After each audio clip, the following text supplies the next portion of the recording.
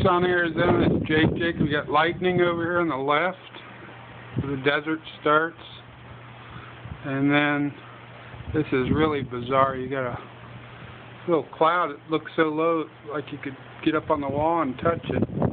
Hop on it. It was tiny, like a man's hand.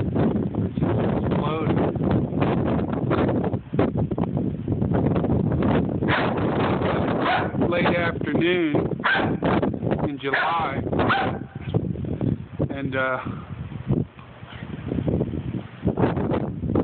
every every direction. There's a blue sky.